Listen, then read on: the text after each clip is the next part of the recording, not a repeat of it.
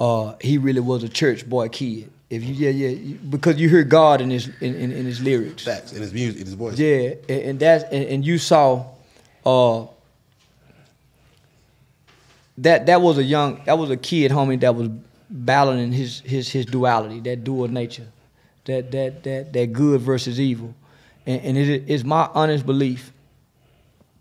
Uh, yeah, it's my honest belief, homie. That little time he he had running, uh, he was talking to God. Hmm. Uh, everybody don't get that little time. He had time to know these niggas was following him, Mm-hmm. know they was on side of him, Hmm. to call his manager to say, "What's up, Rainwater man? These niggas following me." So he had time, homie. So can you imagine, nigga? Now God get to talk to you before you die. We don't know what God say to us before we die. We know what He say to us when we in jail by ourselves. He got to get out the car, walk over to try to get his gun out the glove box. It didn't work, and now he running, but he running for his life. Uh, you ever been afraid for your life? Yeah, I was I was deployed in Iraq. so yeah, nigga call on. God. Yeah, for sure. Yeah, yeah, yeah, yeah, yeah. Uh, nigga told me they was in Vietnam. He was calling on the Buddhist God. Hmm. Yeah, he said when he was in Vietnam, he talked to Buddhists. Uh, certain situations that make you call on God. You don't care what God it is. Hmm. Uh, so I believe now, homie Mo3. If you listen to his lyrics, you know God was in his heart. Uh, uh, when you meet his mother, like all of us, homie, we come from good seeds. Very few of us come from bad parents. Yes, sir. Yeah, very few. We might come from bad situations and bad circumstances, but very few of us come from bad bad parenting where our parents taught us to do wrong. They might not taught us all the way right from wrong, but they, not many of our parents taught us to do wrong. So uh, when I saw the way he died, homie, uh, yeah, yeah, I knew, I knew uh, God gave him a chance.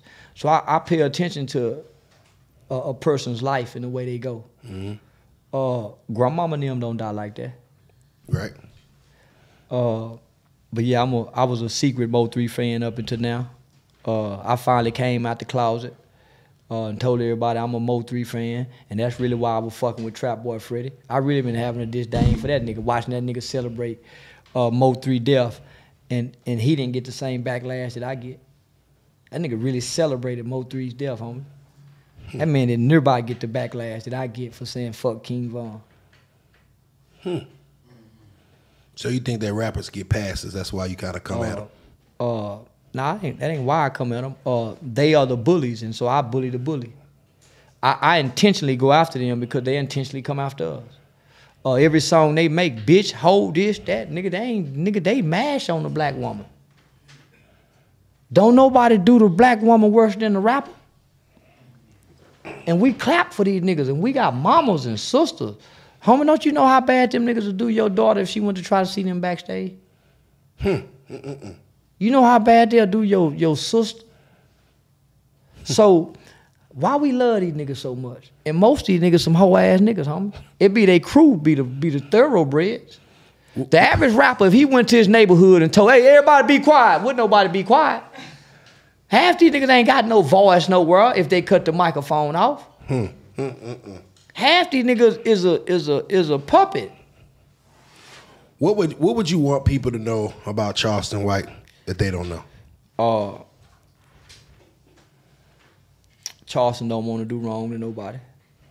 I live my life. I'm, I'm gonna do wrong. Yes, sir. I'm gonna do wrong, but I don't wake up to do wrong to people. I don't lie. I don't steal. and I don't cheat. Uh, I got a little partner named Bingo. God rest his soul.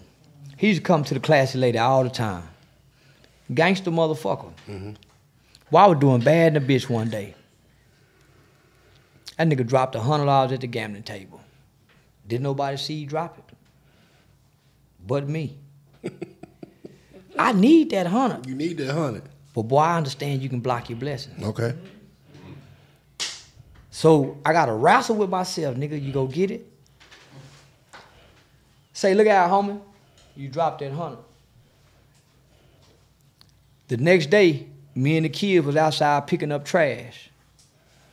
Now I was wrong for this, cause me and the little nigga saw the hundred at the same time, but I swept him down. I saw it first. That's mine, nigga. That's my hundred. He don't need that hundred. He ain't gonna do nothing. don't spending. need Nigga, that I'm, yeah, I need Yeah. it for gas and food and everything. Yes, sir. But I say that to say this.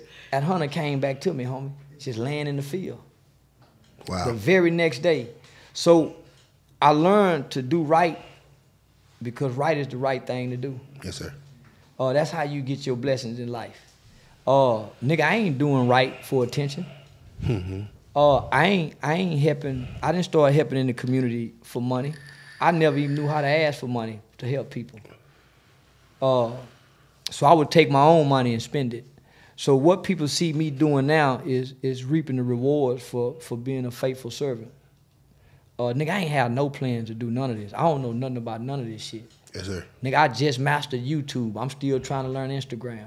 Uh, uh, so nah, homie, I'm just I'm just a guy uh, that was working in the community, got frustrated, came to the internet to vent, cuss out the street niggas who I didn't like, and became a, a internet sensation. Yes, sir. Uh, and now I'm doing comedy. Amen, sir. Yeah. So Hey man, look, I, I, we can sit here all day and talk, man. I, I look once again. can I, come back tomorrow? You Yeah, it hey tomorrow? man, you can come back anytime you want to. I bet. You come back Yeah. anytime you want to. I know you're just getting uh, the hang of that Instagram, but where can they follow you at? Where can they check out more Charleston White if they want to, if they want to tap in? Uh, say uh, Charleston White underscore Texas. Now it's a bunch of uh, There's a whole bunch of pages. Yeah. It's a whole bunch of pages. And Yes, sir. Instagram letting them fuck over me, homie, because I tra- I trademarked my name. I copywritten my name. So uh, I sent in all the documents for them to get these pages taken down. They still let them get me. uh, so you can catch me at, at Instagram, uh, my YouTube, The Real Charleston White, uh, on all streaming platforms, the Game Related Podcast. That's The Real Charleston on the Game Related Podcast. Okay, say less. So I don't do no buffoonery, no. We gotta comical- subscribe to that. Yeah, that's the real Charleston White, man. I got judges, politicians, lawyers, juvenile workers. Uh, I try to get common people with extraordinary stories Okay. and amplify them through my platform. yes, sir. Uh, we got what Nino Brown, DJ Scream, uh, uh, Lil Boosie's supposed to be coming on there, but I think he mad at me. He might not be coming back.